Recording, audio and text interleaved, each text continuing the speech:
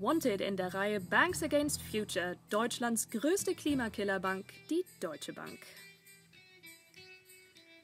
Sie gehört nicht nur zu den größten Geldgebern der arktischen Öl- und Gasindustrie, auch ihre Kohlefinanzierungen verstoßen gegen das Pariser Klimaabkommen.